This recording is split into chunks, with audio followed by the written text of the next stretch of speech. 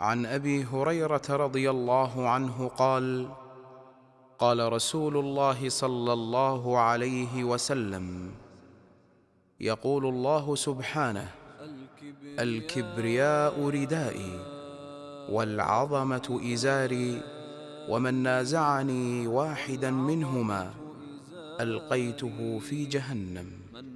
رواه مسلم القيته في جهنم شي الاماكن أنا أنا أدش هالاماكن الحين أنا والناس بمقام واحد ومكان واحد. عاد يبا إيش دعوة الأوادم اللي هني هاميني؟ والله مشكلة إذا شافني أحد يعرفني.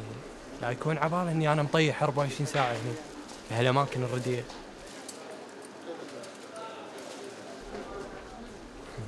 دشداشة شتوية ونعام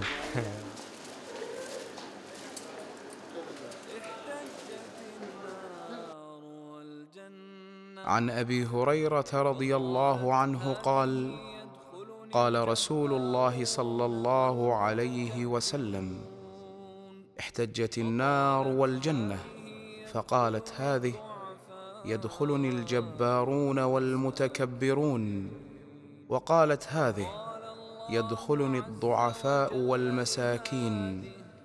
فقال الله عز وجل لهذه أنت عذابي أعذب بك من أشاء. وقال لهذه أنت رحمتي أرحم بك من أشاء. ولكل واحدة منكما ملؤها. رواه البخاري.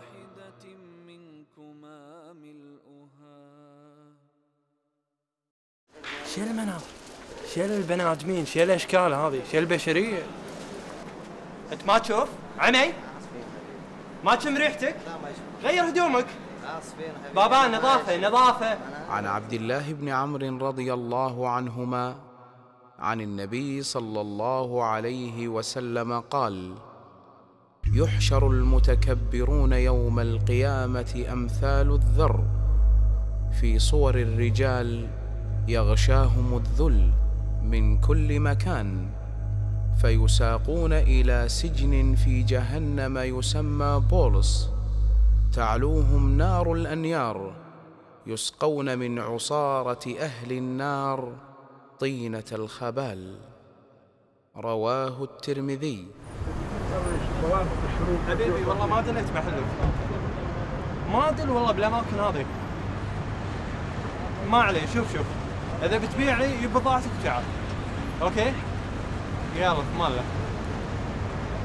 توبة والله هالاماكن توبة. سأصرف عن آياتي الذين يتكبرون في الأرض بغير الحق. وإن يروا كل آية لا يؤمنوا بها. وإن يروا سبيل الرشد لا يتخذوه سبيلا وإن يروا سبيل الغي يتخذوه سبيلا ذلك بأنهم كذبوا بآياتنا وكانوا عنها غافلين